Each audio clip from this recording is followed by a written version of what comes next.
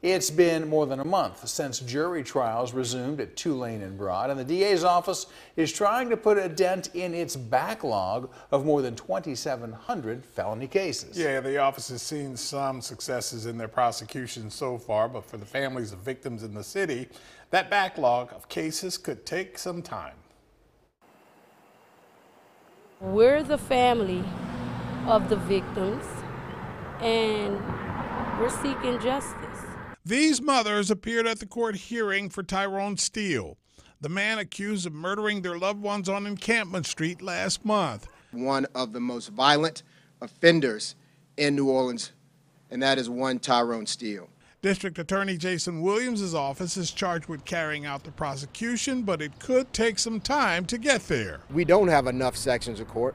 We don't have enough lawyers to, to really efficiently deal with the number of cases that are coming through. So the backlog is tough. That backlog of pandemic cases, coupled with the surge in violent crime, has not deterred Williams' office from trying cases, and they're seeing some successes. For the first three weeks, uh, we, we didn't lose a single trial, uh, which, which was a good feeling. And, and it's not about, uh, it's not necessarily about the result, but it's about making sure that the process is fair the families of the murder victims in the Steele case had a short impromptu meeting with the DA on the steps of the courthouse today.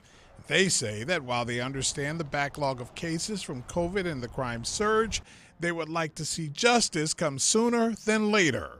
This month has been hell, and they already know his history, they know all about him. He's not new to the system.